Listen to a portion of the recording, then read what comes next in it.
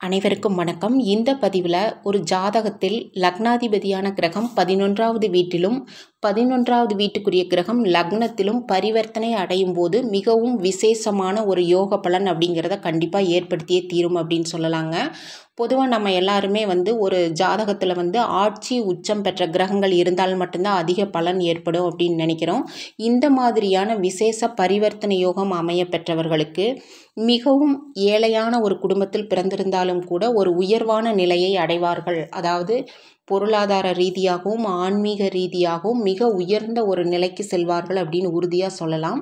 இந்த மாதிரியான ஜாதக அமைப்பு அப்படிங்கிறது ஒரு சில ஜாதகர்களுக்கே வாய்க்க பெறும் அப்படின்னு சொல்லலாம். இந்த பரிவர்த்தனை அப்படிங்கிறது ஒரு அற்புதமான பரிவர்த்தனை அப்படின்னு கூட சொல்லலாங்க. இவங்களுக்கு லக்னாதிபதியோட திசை அல்லது பதினொன்றாவது வீட்டுக்குரியவரோட திசை நடக்கும் காலகட்டத்தில் இவர்களுடைய விருப்பங்கள் ஆசைகள் நிறைவேறும் அப்படின்னு சொல்லலாம். ஒன்று இவங்க மருத்துவராகவோ அல்லது என்ஜினியராகவோ அல்லது பைலட்டாகவோ அல்லது ஒரு விஞ்ஞானியாகவோ ஆகணும் அப்படிங்கிற ஒரு கனவு இருந்தது அப்படின்னா இந்த காலகட்டங்களில் அது முழுமையடையும் அப்படின்னு சொல்லலாம். இவங்களுக்கு மூத்த சகோதரங்கள் இருந்தாங்க அப்படின்னா அவங்களால உதவியும் ஆதாயமும் கிடைக்கும் அப்படின்னு சொல்லலாம். ஃப்ரெண்ட்ஸ் அப்படிங்கிறது இவங்களுக்கு அதிக அளவில் இருக்கும் அப்படின்னு சொல்லலாம்.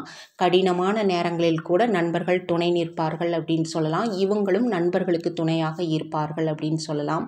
இந்த லக்னாதிபதி அல்லது பதினொன்றாம் வீட்டுக்குரியவரோட திசை நடக்கும் காலகட்டங்களில் அதிக அளவில் இவங்ககிட்ட பணம் புழங்கும் அப்படின்னு சொல்லலாம். இவர்களுக்கு வந்து அந்த காலகட்டத்தில் பணத்தை எப்படி சம்பாதிப்பது அதை எப்படி பெருக்குவது என்ற ஒரு வித்தை இவர்களுக்கு நன்றாக தெரிந்து செயல்படுவார்கள் அப்படின்னு சொல்லலாம்.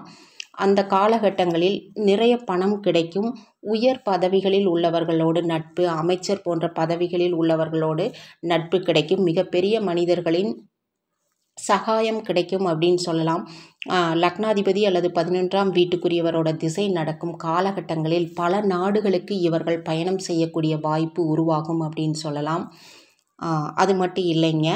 வெளிநாட்டில் செட்டில் ஆகணும் அப்படின்னு நினச்சா அதுவும் ஈஸியாக இவங்களுக்கு முயற்சி எடுத்தாங்கன்னா நடக்கும் அந்த காலகட்டத்தில் அப்படின்னு சொல்லலாம்.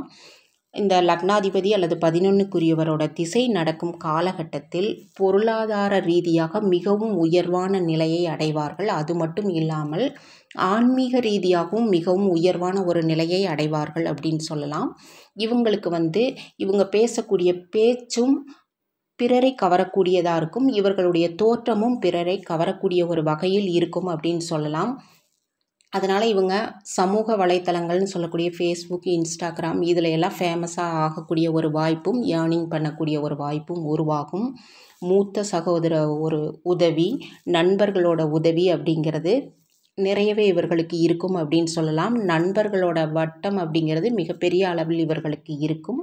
உயர் பதவிகளில் உள்ளவர்களோடு நட்பு அப்படிங்கிறது இவங்களுக்கு இருக்கும். உயர்வான மனிதர்களோட ஒரு தொடர்பு அப்படிங்கிறது ஏற்படும். இவர்கள் வந்து பல வழிகளில் பணத்தை வந்து எப்படி மல்டிப்ளை பண்ணணும் அப்படின்னு தெரிஞ்சு வச்சுருப்பாங்க.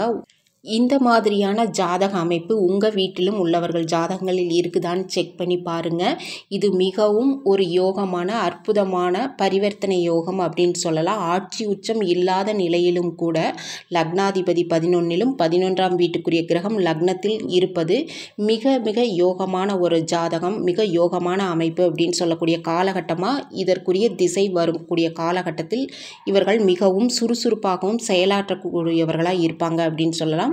இது மிக ஒரு யோகமான அமைப்பான ஒரு ஜாதக பரிவர்த்தனை யோகம் அப்படின்னு சொல்லலாங்க.